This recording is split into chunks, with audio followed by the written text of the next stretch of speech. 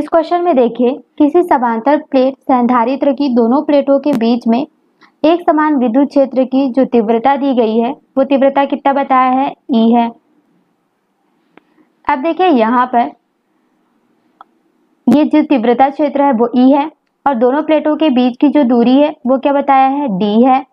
और फिर इनमें जो एरिया है, वो कितना है? ए है। अब क्या पूछा है कि संचित ऊर्जा का मान जो है वो जूल में क्या होगा?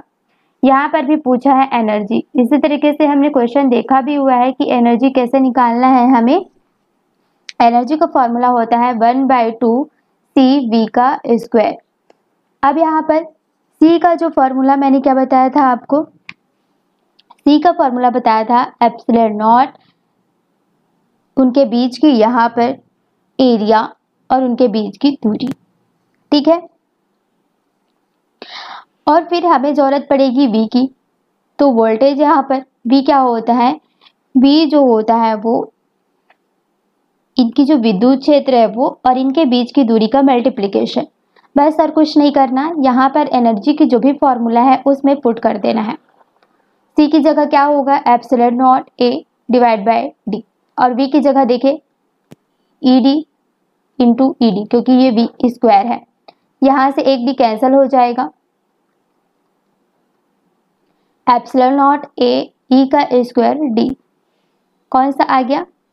ये आ गया।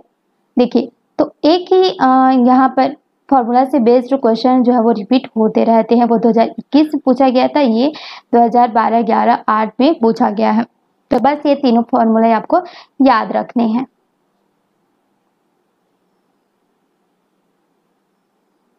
इस तरीके से अगर जब भी आपको विद्युत क्षेत्र की बात करेगी, जब भी दोनों प्लेटों के बीच की दूरी दी हुएगी और जब भी एरिया दिया रहेगा और इनसे जो भी आपसे पूछे, वो सब यहाँ पर आप इन तीनों फॉर्मूले से निकाल सकते हैं। चलिए।